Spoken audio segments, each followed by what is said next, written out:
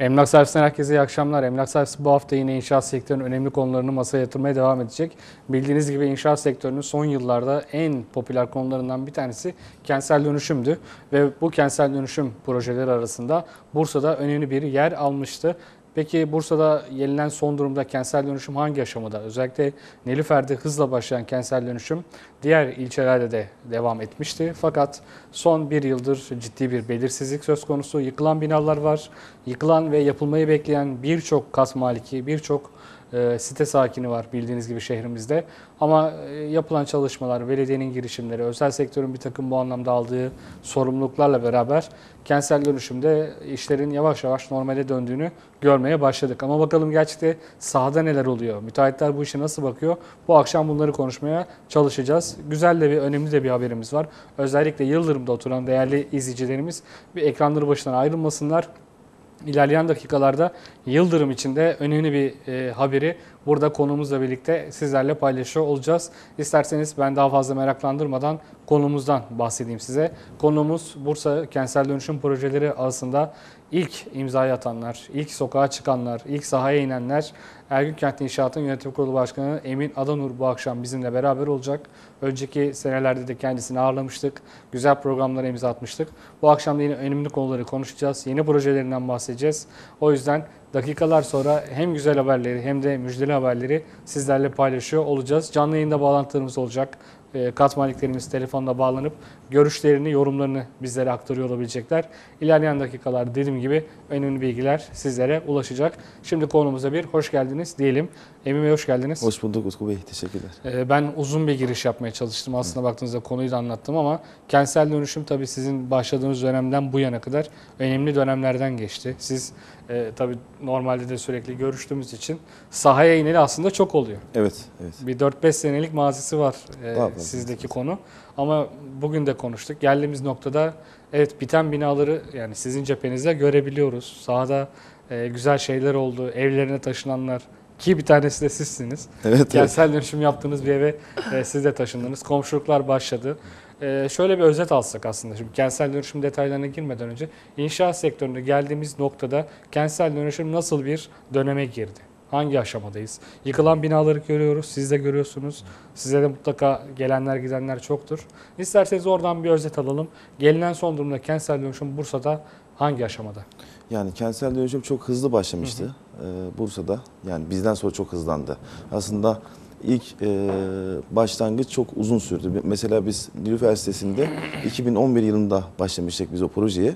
İşte 2015-2016 yılında faaliyete geçti. İşte 2018 yılında teslim oldu. 7 yıllık bir süreç. Yani Bunun 5 yılı ön görüşme süreci, 2 yılı inşaat.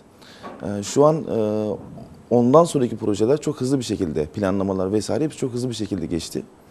Ee, Ama şu an e, tam aslında olması gerektiği gibi durdu. Çünkü ilk çıktığı zaman da biz programlarımızda ben size sürekli bahsediyordum aslında. Hani çok hızlı bir yerde duracak ama işte çok keskin duracak. E, Çünkü çok işte arz talep dengesi çok hani gözetilmeden çok hızlı bir giriş oldu ve çok fazla bir O zamanlarda da konuşmuştuk zaten bunları hep. Evet tabii mi? tabii sürekli bahsediyorduk ve aslında hani tarih verdiğimiz noktalar bile vardı. Mesela ben de söyledim 2018'in işte ortasından işte ikinci çeyreği, üçüncü çeyreği belki dördüncü çeyreği böyle geçecek diye bahsetmiştim ki nitekim o, e, düşündüğüm gibi de oldu. E, Şu an bizim- ekranlarda Park Nilüfer Sesi'nin tabii ki final aşamasını görüyoruz ama bu görüntüler bile neredeyse artık eski oldu. Haziran ayında e, yaşam başladı sitede. Değil mi? Artık herkes evlerine Evet, taşındılar. evet, evet. E, biz de sık sık gelip gidiyoruz, projeyi görüyoruz. Bu anlamda Bursa'ya örnek bir iş oldu diyebiliriz. Bu anlamda hem tebrik ederim. Teşekkür Binlerce ma- mağdurun olduğu şu dönemlerde örnek bir iş ortaya çıktı nihayet. Ve Bursa'nın bence en değerli lokasyonlarından biri. İlk sıralarda yer sayabileceğimiz bir yerdeydi. Şu an neler hissediyorsunuz sitede? Çünkü bir de yaşıyorsunuz orada. Bu Evet. güzel. Müteahhitler genelde kendi yaptıkları yerde yaşamazlar çünkü ama siz yaşıyorsunuz. Yani ben oradayım işte ailem babamlar orada e, birçok akrabam teyzem mesela bizim blokta oturuyor vesaire bayağı biz orada oturuyoruz yani. Akrabalarla beraber evet evet geldiniz. arkadaşlarım çok. Peki neler hissediyorsunuz? Önceden çünkü o arazide ben de sizinle beraber daha yıkılmadan önce de biz e, oralarda gezmiştik. Neler hissediyorsunuz? Yani olağanüstü bir duygu. Mesela hep diyorlar işte e, 340 hane var Nilüfer sitesinde, Park Nilüfer'de yeni adıyla. 340'ını birden tanıyorsun. Hani nasıl olacak? Herkes işte senin kapına gelir işte vesaire. Hiç öyle değil. Yani 340 hane var. İşte 339'u gerçekten çok anlayışlı yani. Evet. Hiç mesela insanların tahmin ettiği gibi bir süreç yok orada. Ne kimse işte gelip kapıyı çalıp işte şöyle öyle bir kesinlikle öyle bir şey yok. Zaten insanlar şikayetleri olduğu zaman işte istekleri olduğu zaman işte iletişime geçiyorlar bizimle, bizim arkadaşlarımızla. O yüzden ben hiç sıkıntı yaşamıyorum. Ayrıca çok da mutlu oluyorum. Çünkü ben ilk günlerini de biliyorum. İşte ta Evet. işte biz e, yıkılmadan bile mesela uzlaşma görüşmeleri için bile 3 yıl falan kaldık orada. 2 3 yıl falan kaldık mesela. O süreçte bile işte o süreçten bugüne kalan gelen bütün süreci e, göz önünde olunca insan mutlu oluyor. Bitirdiğiniz bir proje tabii. E, tabii resmi olarak da tamamen artık kapıları dağıtılmış, iskene tabii, tabii. alınmış. Artık resmi hiçbir prosedürü kalmamış bir projeden bahsediyoruz. Bursa'nın da ilk değil mi kentsel dönüşüm ruhsatlı Evet. projesiydi. Arkası da geldi. Tabii hemen yakınında bir projeniz daha vardı. Evet. Onun da birazdan görüntüleri ekranlarda ol- duracaktır.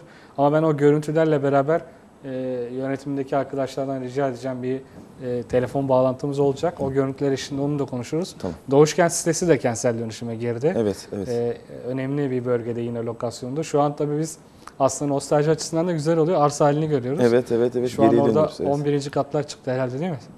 Ee, 13. katta. 2 blok. 13. Evet, ben en son 11'de bırakmışım demek ki. Orada ne aşamadayız? Orada kaba inşaatımız devam ediyor. Bu yıl işte kaba inşaatımızı bitirmeyi planlıyoruz Evet. biz. İşte iki, bir buçuk ay gibi bir süre var önümüzde. Bitecek inşallah o. Ee, Teslim süreci ise 6. 7. ay gibi. Doğuşkent sitesinde. Tabii baktığınızda lokasyon olarak hemen hemen aynı lokasyonlarda projeler. Hep aynı Ama doğru. e, tabii ki kat maliki sayısı daha düşüktü. Evet, Burada evet 90. 75 hane vardı burada. Evet. Burada daha azdı ama Park Nilüfer'de tabii ki 180 hane Evet, daha evet. farklıydı. Daha zor bir süreç e, Park Nilüfer her şeyiyle. Evet. İlk olması da zordu. Ama Doğuş kentte biraz daha işler zannedersem. Daha hızlı oldu. Daha hızlı Yani yürüdü, Biraz daha mi? hızlı oldu tabii tabii. Daha Ama anla- bu işin bir mimarı vardır. E, Her işin mimarları vardır. Onlardan biri sizsiniz. Bence işin sorumluluk sahiplerinden bir tanesi de sevgili Ali hocamız. O da telefonda herhalde. Ali Aköz. Bakalım ona bir merhaba diyelim. E, Ali hocam iyi akşamlar. İyi akşamlar. Utkucuğum nasılsınız? Teşekkür ederim. Siz nasılsınız? Sesim geliyor mu hocam? Evet geliyor. Bu akşam konuğumuz Emin Adanur. Ergün Kent İnşaat'la beraber kentsel dönüşümü konuşuyoruz.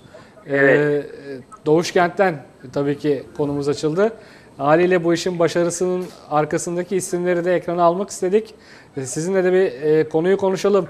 E, inşaatınız hızla devam ediyor. Evet çok güzel bir şekilde devam ediyor. Hocam Ee, biraz televizyonunuzun sesini kısabilirseniz. Hemen, hemen kısıyorum. Hemen kısıyorum. Şimdi e, dediniz ki bu işin işte arkasındaki kişilerden biri sizsiniz. Ama biz orada 75 kişi birden istedik Ergun Kent Evet. inşaatı. Yani 75 kişinin isteğiyle oldu bu. Herkes çok candan istedi. Niye? Çünkü siz gösterdiniz karşıda güzel bir yapı var. Ee, Örnek bir değil mi? Örnek. Tabii yani örnek var. Oluşan bir örnek var. Biz de buna güvendik. E, e, Ergun Kent İnşaat'a güvendik ve bu işe girişim yaptık. Hocam Harika da bir şekilde devam ediyor. Evet. 75 tane kat malikiyle gerçekten uzlaşmak çok zordur. Bu durumda bazen 3-4 kişi bile kendi arasında uzlaşamaz. Ama siz 75 kat maliki el birliği yaptınız. Projeyi Vallahi- bugünlere taşındınız. İlk, ilk toplantıda herkes e, hemen elini kaldırdı ve alkış tufan koptu. E, bu projeyi benimsedi, istedi. Çünkü önümüzde hakikaten güzel bir örnek var. İnşaatı takip ediyor musunuz hocam? Tabii ki, tabii Ben- ki. Bir ben değil herkes takip ediyor. Biz devamlı oradayız. Ee, her geçen gün gözümüzün önünde büyüyor. Yani bir an önce oraya girip oturmayı e, düşünüyoruz. E, o günleri hayal ediyoruz. İnşallah hocam sağ salim evlerinize dönerseniz, İnşallah, evlerinize inşallah. huzurlu bir şekilde yaşarsınız. Tabii İnşallah. Bursa'da kentsel dönüşümle ilgili ciddi de bir e, kaos söz konusu. Yıkılan binalar, yapılmayı bekleyen evler, e, binlerce mağdur. Herkes e, açıkçası e, kentsel dönüşüme kilitlenmiş durumda. Sizin bu anlamda komşularınıza, çevrenizdeki binalarda yaşayan insanlara ne gibi tavsiyeleriniz olabilir? En azından belki hala kentsel dönüşüm düşünen siteler vardır. Onlara neler tavsiye edersiniz? Yani Yöneticilere. benim benim benim tavsiyem en önce güvenilir bir firma bulsunlar. Evet. Biz de e, çok firma ile görüştük ama en sonunda Ergun Kent'le anlaştık. Yani güvenebileceğiniz bir firma olsun. Biz bugün eşimle Nilüfer'de gezdik. Hakikaten çok mağdur site var. Evet. E, yıkılmış. Şu anda tarla haline gelmiş ve yapılmayı bekleyen e, biz hakikaten mutluyuz çünkü bizim binalarımız yapılıyor. E, ve 11. 12. kata çıktı siz de söylediniz. Evet. Ama en büyük şey güvenebilecekleri bir firmayla anlaşsınlar. Bu çok e, hayati bir mesele artık çünkü. Evet. Tabii hepimizin hayatı. e, evleri söz konusu. Umarız e, artık mağduriyetler yaşanmaz ve nihayet e, güzel sonuçlar alınmaya başlar diyoruz biz de Ali Hocam. Emin Adanur'a söylemek istediğiniz bir şey var mı Ali Bey? Ee, Emin Uzunur'a biz Ergun Kent sitesi olarak hakikaten teşekkür ediyoruz. Bizle çok ilgileniyor. Ee, elinden geleni yapıyor Doğuş Kent sitesi olarak. Ee, hakikaten e, sağ olsunlar e, şu anda çok güzel gidiyor sitemiz. İnşallah sonunda da oturmayı nasip eder Allah. İnşallah. İlk kahvemizi de o gelir içer bizim İnşallah, evimizde. inşallah. Yengeme selamlar abi. Aleykümselam görüşmek üzere. Görüşmek Ali Hocam e, şimdiden inşallah evinizde oturmak nasip olur diyelim. İnşallah. İnşaatınızda da e, başarılar dilerim. Siz de çünkü sürekli takiptesiniz. İyi Evet. akşamlar diliyorum. Teşekkür ederim. İyi akşamlar, teşekkürler, iyi yayınlar. Teşekkür ederiz. Sağ olun Sağ olun. hocam. Tabii şimdi bunlar e, aynı zamanda sizi e, motive eden de Tabii, konular. tabii. Çünkü işin sahipleri arkanızda duruyorlar, size destek oluyorlar. Bu da herhalde işin olmazsa olmazı ama bir de Mutlaka. işin matematik ve bütçe boyutu var, maliyet boyutu var. İnşaatta biliyorsunuz maliyetler her geçen gün artıyor. Özellikle dövizdeki bu hareketlilik vesaire baktığınızda üst üste birçok sebep sıralandı. İnşaat maliyetleri gerçekten konut fiyatlarına nasıl yansıyacak? Önümüzdeki dönemde konut fiyatları artacak mı? Çünkü hem kentsel dönüşüm yapıyorsunuz hem de yaptığınız daireleri satıyorsunuz. Bu düzlemde inşaat sektörünün konut piyasası bakımından fiyatlama nasıl olacak? İnanılmaz derecede e, yükselecek çünkü maliyetler inanılmaz derecede yükseldi. E, şu an mesela e, insanlar ucuz mal alabiliyor evet piyasadan dolayı ama inşaat halinde devam eden inşaatlardan ucuz mal alabiliyor. Mesela bitmiş bir projeden e, eğer müteahhitin durumu da iyiyse sıkışmamışsa mesela kimse ucuz bir mal alamıyor mesela. Yani an. halk arasında bizim o topraktan alma dediğimiz olay Evet, değil mi? evet. Halk arasında öyle Ama şu an ne oluyor? İşte biraz daha belki ihtiyacı olursa müteahhitin biraz daha işte altına bırakabiliyor ama dediğim gibi bu sadece şeyde geçerli. İnşaat halinde devam eden, üretimi devam eden iş için geçerli. E, stoğu bitmiş konutu olan kişi şu an zaten satmıyor. Ki müteahhit de zam yapmak zorunda çünkü maliyetler birebir arttı. Onu söyleyeyim yani. Peki fiyat artışlarını siz e, e, özellikle maliyette yaşanan o fiyat artışlarını konut satış rakamlarına empoze edebildiniz mi? Yansıtabildiniz mi? Yani? Hayır kesinlikle. Yani şu an e, Peki bu denge yani karınızdan mı fedakarlık ediyorsunuz yoksa bu anlamda hani en azından maliyeti kurtaralım aşamasında mı inşaat firmaları? Yani herkes öyle şu an. Yani herkes şu an evet biz işte aldığımız işi teslim edelim. İşte maliyetini hani zarar etmeyelim. Hani kar da yediğimiz işimizde kar olsun vesaire gibi bir düşünceyle hani şey yapıyor. E, elindeki teslim etmeye çalışıyor. Gerçekten zaten şu an kimsenin para kazanma gibi derdi yok. Yaptığı işten para kazanma gibi derdi yok. Bence olmasın da zaten hani e, bu süreç öyle bir süreç değil. Bu süreci herkesin iyi, sağlıklı atlatması lazım. Ayakta atlatması lazım. E, o yüzden dikkatli olmak lazım. Peki inşaat firmaları fiyatları dediğiniz gibi revize edemediler satış fiyatlarına yansıtamadılar ama bir yandan da o bisikletin tekerleğinin dönmesi gerekiyor. Durduğu an düşecek çünkü bisiklet. Peki bu döngüyü nasıl yani öz sermayeyle mi ayakta kalınır? E İşte banka kredileriyle mi ayakta kalınır? Çünkü bir firmanın güçlü olması gerekiyor ki ayakta kalabilsin. Sizin öngörünüz nasıl? Yani yoksa e, arka arkaya birçok olumsuz şey duyacağız piyasada. Sizce inşaat firmaları bu dönemi nasıl geçirecekler? Yani banka kredisine bulaşmak işin en kötü şeyi zaten hani mesela bizim bir banka kredi borcumuz yok. Siz bankalara kredi Ha, yok biz hani yani zaten. çalışıyoruz ama hani şey yok şu an hani kredi borcumuz yok. Bizim de vardı mesela Temmuz ayı itibariyle vardı. Ağustos'ta hepsini kapattık biz mesela. Süreci biraz öngörmek lazım, hani hissetmek lazım. Biz onu başardığımıza inanıyoruz. O yüzden mesela şu an işlerimiz çok hızlı devam ediyor. Çünkü e, süreci birkaç ay önceden işte Allah e, bize Nasip yani nasip Peki etti. piyasada gerçekten konut satışı anlamında e, durgunluk olduğu gözlemleyebiliyoruz. Azalma var. Evet. Yeri geliyor gerçekten ayı konut satışı yapmadan kapatan firmaları duyuyoruz. E, sizin gözleminize göre şu anda konut satışları gerçekten e, bunun kötüsüne döner mi? Yani daha da azalır mı iş? Daha da Ya. kötüye gider mi piyasa? Yani zannetmiyorum ya. Hani bundan daha, Daha kötü. kötüsü olmaz Hani diyorsun. zaten daha kötü en kötü olur. Hani bundan daha kötüsü en kötüsü olur artık yani. Peki olumlu anlamda düşünecek olursak ileriye dönük yakın vadede, orta vadede bir iyimser tabloyu tekrar geri kazanabilir mi inşaat sektörü? Yani bir 5 ay gibi bir süre, 5-6 ay gibi bir süre daha böyle hani işte bıçak sütü gibi diyeyim devam Ama edecek. yani Ondan Nisan, sonra- Mayıs'la beraber mi? Hani sezonun açılmasıyla Evet, beraber evet, mi evet. Yani aslında sezondan dolayı da şu an bir durgunluk var. Her şey de işte ülkedeki hani bir şeye bağlamakta ne bileyim. Ama baktığınızda yani bizim o şimdi değerli izleyiciler inşaat sektörünün böyle e, parlak dönemleri oluyor. Özellikle e, yazın girişinde Mart Nisan konut satışlarının yavaş yavaş hareketlenmeye başladığı dönemlerdir. E, okulların açılmasıyla beraber, Eylül'le beraber o aralığa kadar değil mi? O dönemde yine bir hareketlilik olur. O aradaki dönem gerçekten biraz daha zor bir dönemdir ama ekonomik tabii ki e, baskı diyelim değil mi bunu ekonomik çünkü piyasalar bir baskı oluşturuyor. Ekonomik baskı, konut tüketicisinin özellikle konut alıcısının biraz daha çekimser davranması, parasını e, aman kenarda tutayım, ev almayayım deme durumu da oluşabiliyor. Bu anlamda işiniz gerçekten çok zor. Zor. Evet. Onu söylemek lazım. Maliyetleriniz ortada. Kentsel dönüşüm e, yapan bir firmasınız. Taahhütleriniz var. İnşallah dediğim gibi siz de e, başarıyla tamamlarsınız. İnşallah. Ama buna rağmen sistem durmuyor değil mi? Çark devam ediyor. Tabii yani devam etmek zorundasınız zaten. Ben hep e, onu söylüyorum zaten. Eğer yapamayacaktıysan bu işi, bunları da göze almadıysan hiç girmeyecektin. Çünkü Öngörmekle ilgili bir şey. yani hem öngörmek hem de biraz garantici olmak lazım. Yani biraz olmak lazım. Yani hani O zaman bu güzel haberi e, verelim şimdi bence tam yeri gelmişken. olur, olur. İzleyenler var, yazanlar var, merak edenler var. Yeri gelmişken yine programımızda ilk kez açıklanacak değerli izleyiciler. Daha önce hiçbir yerde duymamışsınızdır. Ee, Emin Bey'le daha önce görüştük, konuyu da paylaştık. Ee, o da yoğun bir çalışma harcadı bu konuyla ilgili. Ee, gerekli görüşmeler yapıldı, toplantılar yapıldı, anlaşma sağlandı ve önümüzdeki günlerde de tamamen artık kamuoyuyla duyurulacak ama ilk kez burada paylaşacaksınız. Ee, ben size bırakayım isterseniz bu güzel haberi, müjdeli yani haberi. her aşamasında beraberdik. Beraber anlatabiliriz. Başından beri işin içinde olduğumuz için Evet. e, bunu beraber yine beraber Tabii, duyuruyor tabii, olacağız tabii, inşallah. Değerli izleyiciler bildiğiniz gibi kentsel dönüşüm Nilüfer'de hız kazanmıştı. Özellikle e, kooperatiflerden binaların e, normal siteye dönmesiyle beraber e, riskli yapıların çoğunlukta olması, bir de uzlaşma zemininin biraz daha makul e, oranlarda sağlanması nedeniyle Nilüfer kentsel dönüşümünün e, göz bebeği olmuştu. Ama Bursa'nın her yeri değerli diyoruz size. Yıllardır bildiğiniz gibi doğusuyla, batısıyla, kuzeyiyle, güneyiyle Bursa gerçekten bir yatırım cenneti. İnşaat sektörü için de keza bu böyledir. Ama kentsel dönüşümde gözler hep Nilüfer'deydi. Bunun da e, paylarından biri de sizde tabii Evet. ki. Yani siz sizin projelerle dikkat çekti Nilüfer'de. Ama ben bunu bir anlamda da aslında firma transferi gibi görüyorum. Ergün Kent'i Nilüfer'de biz çok alıştık ama Evet.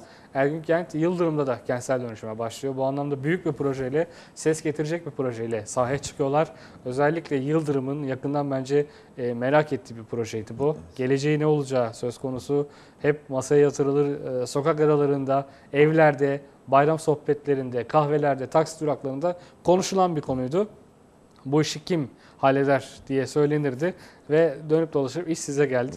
Ee, Yıldırım'da, Yıldırım'ın en güzel noktalarından bir tanesi olan Molla Arap'ta kentsel dönüşüm başlıyor değerli izleyiciler. Buradaki kentsel dönüşümde Ergün Kent i- imzası taşıyacak. Ergün Kent İnşaat Nilüfer'deki örnek projelerine Yıldırım'da da devam edecek. Yıldırım'da ilk kentsel dönüşüm projeleri olacak. Bence ilk olmasıyla beraber birçok özelliği de e, bünyesinde barındırıyor kentsel dönüşüm projesi. Yıldırım Belediyesi ve Ergün Kent İnşaat'ın işbirliğiyle güzel bir e, bence proje ortaya çıkacak. Proje detaylarını da önümüzdeki günlerde paylaşıyor olacağız. Emin Adanur'dan şimdi e, projeyle ilgili, e, konuyla ilgili hem duygularınızı hem düşüncelerinizi alalım. Buradan e, çünkü ilk kez duyurduk. İnşallah sonu da güzel olur. Diğer projeleriniz gibi. E, Yıldırım'da Ergün Kent rüzgarı başlıyor. Evet inşallah. Şimdi bu işin kentsel dönüşüm işinin mutfağından geldim ben. Evet. Yani işte en altından işte geldim. İşte en zor yerlerinden. En zorlu yerlerinden geldim. İşte Bursa'da yaptık, il dışlarında yani Bursa'nın dışında çok yerde yaptık mesela. Hep bahsetmiştim daha önce. Daha fazla sıkmayacağım kimseyi. Evet. Şimdi Molla Arap bana biraz e, işte o duyguyu yaşattı. O bizim mutfağında yaşadığımız duyguyu yaşattı. İşte e, kentsel dönüşümün zorunlu olan kısmının e, orada işte ihtiyaç az olması Evet. bizi biraz daha oraya işte yakınlaştırdı. Daha duygusal bir bağ oluşturdu. Ben her zaman söylüyorum kentsel dönüşümde o duygusal bağı yakalayamadığınız zaman eğer o işi alamıyorsanız zaten o işe hani sıcak bakmayın, yapmayın. Hani kentsel dönüşüm evet bir ticarettir, inşaat yapıyorsunuz vesaire ama ruhunu yakalamak lazım. İşte biz zaten bugüne kadar e, bundan dolayı başarılı olduk. Ruhunu yakaladığımız işleri yaptık ve bunları da mesela teslim ettik. Bizim 3 tane kentsel dönüşüm projesini biz teslim ettik. Yani Bursa'da onaylanan 250'ye 260'a yakın plan var. 3 tane teslim projesi var. Üçü de bizim. Dördüncüsü işte hani Ocak ayında teslim olacak. O yine bizim mesela. Ama devam eden birçok inşaat var. Tabii kentsel dönüşümün ruhunu biliyorsunuz, içeriğini biliyorsunuz. Ben şimdi bir görüntü paylaşacağım. Sizinle beraber fotoğrafını çekmiştik. Evet. E, Onu yayın için çekmiştim. Kameraman arkadaşımdan rica edeceğim. Telefonuma böyle bir yaklaşabilirse bakın e, bizim bir e, bir mahallede bir sokakta değil mi almış olduğumuz bir fotoğraf karesi var. e, vatandaş kapısına yazmış sakat kalmak istiyorsan gir. Yani bakın mülkiyet ne kadar bize değerli, önemli bir ürün. Vatandaşımız sokağının kapısına bunu yazmış. E, bakın bu mahallelerde kentsel dönüşüm oluyor Evet, değil mi? evet. Ve zaten buralarda olursa e, aslında değerli oluyor. Evet, Anlamını da tam anlamda buluyor. Biz bunu ilk gördüğümüzde bayağı bir gülmüştük hatırlarsınız. Ben Biraz da alışkınım ama onlara. yani biraz da korkmuştuk. Yani sakat kalmak istiyorsan gir yazmış. Buraya e, girecek misiniz? E, mecbur gireceğiz. Mecbur girdik Yani. zaten değil mi? Hani işin doğası insanların gözünde hep işte yüksek binalar, havuzlar, kapalı otoparklar geliyor mu? Gerçekten çok farklı bir boyut. Yani mülkiyetinin el değiştiriyor olması, evinin yıkılıyor olması. e, üstelik bunu yazan da bir kiracı kat maliki. Yanlış anlaşılmasın değerli izleyiciler. Kirada oturan bir e, amcamız kapısına bunu yazmış. Sakat kalmak istiyorsan gir yazmış. E, siz herhalde bunları göze aldınız değil mi burada? Yani bizim işimiz bu zaten. Evet. Yani bizim işimiz e, zor olanı başarabilmek ki biz işte dedim ya mutfağından geldik de mutfakta bunlar var zaten hep. Şimdi tabii Molla Arap kentsel dönüşümü başlıyor dedik. E, haliyle orada oturanlar, yakınları orada olanlar, oraya komşu olan e, birçok izleyicimiz var, hemşerimiz var. Onlar merak ediyorlar nasıl bir kentsel dönüşüm olacak? Molla Arap'ta nasıl bir proje hazırlanıyor diye. Bunun sorusunu Emin Bey'e soralım. Emin Bey nasıl bir proje bekliyor? Ya ben her zaman söylüyorum işte proje işin en sonundadır kentsel dönüşümde. Mesela niye biz başarılı olamıyoruzu kendine soruyorsan kentsel dönüşüm için de en basit çözüm hani eğer projeyi götürürsen en basit oradan başlayacaksın. Proje her zaman işin sonundadır. Ama benim tabii hayalimde, aklımda işte hem çalışma arkadaşlarımızın hem belki sizin e, vatandaşlarımızın oradaki kat maliklerimizin hayalinde, aklında bir şey var muhakkak o bölgeyle alakalı. Biz ne yapacağız? Hem vatandaşların hem de bizim ortak hayalimizi gerçekleştireceğiz. Yani onlar da ortaya bir şey koyacaklar. Biz de ortaya bir şey koyacağız. Finalde herkesin istediği, herkesin mutlu olduğu, işte küsmediği güzel işte bir proje ortaya çıkacak. Aslında hani baştan e, dediğiniz çok çok ince bir nüans ama bence projenin de can damarı diye tabir edebileceğimiz bir nokta. İnsanların ortak görüşleri alınarak, Hı hı, tabii, tabii. bölgenin ihtiyaçları saptanarak ve gerçekten bölgeye uygun bir proje yapılabilmesi için bu uzlaşma ve değil mi müzakere sürecinin bir oluşturulması gerekiyordu. Tabii ki, tabii. Yoksa maketi koyalım. Hadi buradan dairenizi seçin dediğinizde işin biraz doğası bozuluyor ve anlaşma da olmuyor. Ya Değil mi? şimdi maalesef hepimizde var bu. İşte kat maliklerinde yargılamıyorum. Hepimiz öyleyiz. İlk başta bir projeyle gittiğiniz zaman yani ortada yani evet benim yerime de bu oluyor mantığı girdiği zaman işte kat malikine o aşamalar ilk aşamalar hiç gözünün önüne gelmiyor. Evet. Aslında kat malikinin önce şunları görmesi lazım. Evet bu iş oluyor. Ee, ileride de çok güzel olacak ama bunun aşamaları neler? O aşamalarını sizin kat malikine ya- yaşatmanız lazım. Yani plan onaylanacaksa hep beraber işte böyle bir plan onaylanacak. İşte kabul ediyor musunuz? Evet kabul ediyoruz deyip planı geçirmek lazım. Ondan sonra işte binaları yıkacağız hadi yıkalım mı deyip işte yıkma. Her aşamasını tek tek bilmeleri lazım. En son zaten ki bunları neden bilmeleri lazım biliyor musunuz? Projenin e, ana başlığını yani biz renderlarını çıkardığımız zaman sadece oraya bakıp da geçmişini bilmezse kat maliki onun nasıl olduğunu bilmezse olmuyor o iş yani. İşte onun da bizimle beraber o mutfakta çalışması lazım, koşturması lazım, gitmesi lazım, gelmesi lazım ki finalde onun neden öyle olduğunu kendisi de anlayıp işte kolay bir şekilde imza atabilsin yani. Şimdi birçok izleyici merak ediyor. Ne zaman başlayacak süreç? Nasıl bir süreç planlanıyor? Takvim nasıl işleyecek? İsterseniz bir özet alalım. Ne zaman sahaya iniyorsunuz? Uzlaşma görüşmeleri ne kadar sürecek? Belki de ilk kazmayı ne zaman vuracaksınız diye soracağım. İlk kazmayı vurduk. Yani Evet. bir tesviye yaptık. E, ofis kurulumu yapacağız biz şimdi orada. İşte birkaç güne kadar ofis kurulumu gerçekleşir. İşte yetkili arkadaşlar zaten geziyorlar şu an semti, mahalleyi geziyorlar. İşte hem planlamalara bakıyorlar vesaire. Biz işte e, Yıldırım Belediyesi e, görevlileriyle ki e, Tarık Erdem Başkan'a ben çok teşekkür etmek Buradan istiyorum. çok selam söylüyoruz. Çok, Tarık Erdem gerçekten Başkan emeği çok oluyor. büyük. Evet, e, emek sarf ediyor da bizimle beraber Mehmet abiye çok teşekkür ediyorum. Ekibi Sahada de evet. maşallah hepsi Ee, başla teşekkür çalışıyorlar. ediyorum.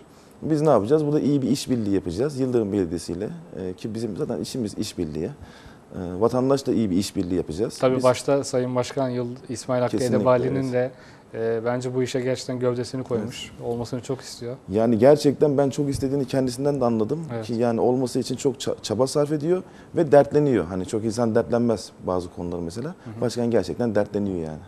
Yani Yıldırım'a hizmet etme gerçekten e, her başkanın arzusudur ama İsmail Hakkı Edebali Başkan da bu projeyle ilgili özellikle vatandaşların mağduriyetin ortadan kalkması ile ilgili yoğun bir çaba vardı. Bunu ben kendim gözlerimden de gördüm. Gerçekten orada bir an önce bir e, değişimin, dönüşümün olmasını hem kendi inanmış hem ekibini inandırmış. Bu çok önemli. Umarız sahaya yansır. Umarız final Ama güzel onlar olur. inanmasa zaten biz de inanmazdık. Evet. Yani onlar bu kadar yani istekli olmasa, o ışığı biz de görmesek hani şu zamanda yapılacak iş değil o. Yani onu söyleyeyim. Tabii inşaat sektörünün özellikle İnşaat içinde bulunduğu durumu Evet, evet, düşünürsek e, oldukça zor bir dönem. Evet, evet. E, her bakımdan e, hem üreticiyi hem bu anlamda yükleniciyi hem de kat maliklerini zorlayacak bir dönem ama hem belediye hem sizler elinizi taşın altına bir kez daha koydunuz. Umarız vatandaşlara finalde güzel bir son yaşatırsınız. Güzel bir, e, mutlu bir hayata geri dönerler. İnşallah. Evlerine kavuşurlar diyelim. Bu anlamda da mesajı ve müjdeyi vermiş olduk. Molla Arap'ta kentsel dönüşüm çok yakın zamanda Ergün Kent tarafından başlayacak. Katmarke ile görüşmeleri de başlatacaklar. Uzlaşma süresi de yaklaşık 6 ay, 7 ay değil mi? Planlanan Daha kısa da sürebilir. Yani tabii ki oradaki vatandaşlara bağlı. Hani biz bir günde de anlaşırız yani. Yani ama tabii o süreç maalesef öyle bir gün değil, bir Olmuyor ayda da yani, olmuyor. evet, evet. Çok siz yaşadınız, biz de tanık olduk. Biz gene 6-7 ay gibi bir süre. Sürer. Ama olur da hepsi bir araya gelir. Yani Biz burada istiyoruz bize. Hadi hep el birliği deseler belki bir haftada bile işte İş- olmuyor. Maalesef öyle olmuyor. İşte Çözüm- işin sonunda aslında hepsi pişman oluyor. Geriye dönüp Evet. de ya keşke hani olmasaydı, uz- uzatmasaydık evet. diyor ama işte işte öyle olmuyor. Peki Nilüfer'den sonra Yıldırım'da proje yapmak fikri size nasıl doğdu? Tamam güzel bir e, iletişim sağladınız. E, belediye bürokratları, belediye bu konuda e, öncü de oldu. Kat malikleriyle e, sizin uzlaşmanıza yardımcı olacaklar. Ama Ergün Kent'i biz hep Nilüfer'de alıştık. E, siz neden Yıldırım'ı tercih ettiniz? Ya aslında e, sorulması gereken soru neden bugüne kadar Yıldırım'ı tercih etmediniz? Hani Evet. hani biz aslında ben kendim zaten Yıldırım'da doğdum. Hani büyüdüm işte.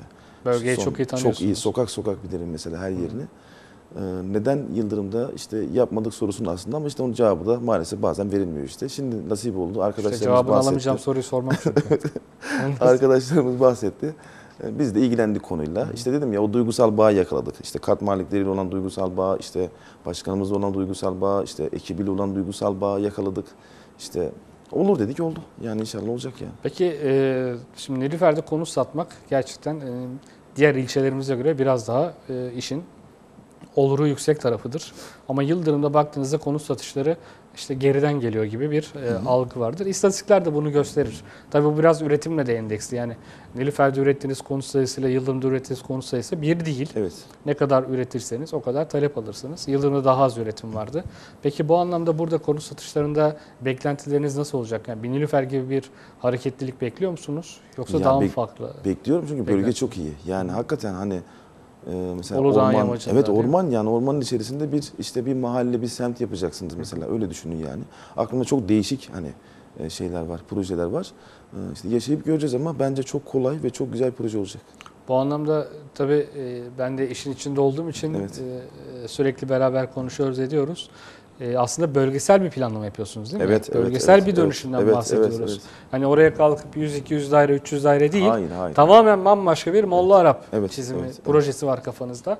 Bunun da haberini vermek lazım değil mi Evet, burada? Yani evet. insanların bu bakış açısıyla yaklaşması gerekiyor herhalde olaya. Bizim zaten bütün işlerimizde öyle yani. Hani sadece böyle işte kuru inşaat gözüyle bakmıyoruz biz olaya. Ki buradaki iş mesela biz işte Bineli konutlarda da büyük bir alanda çalışmıştık.